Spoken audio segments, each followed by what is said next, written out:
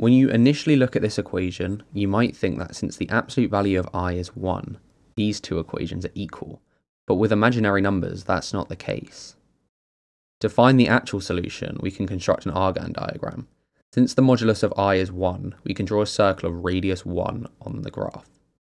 We can label each point on the graph as cosine of theta, i sine of theta. We can then rotate this point around the circle's circumference until we reach our point i. We can see our point i has created an angle of pi over 2 with the x-axis.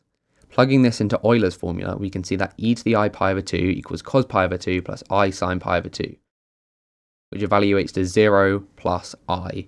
So i is equal to e to the i pi over 2. We can plug this back into our original equation. Remember that i times i is negative 1. We get that i is equal to e to the negative i pi over 2, which is in fact a real number.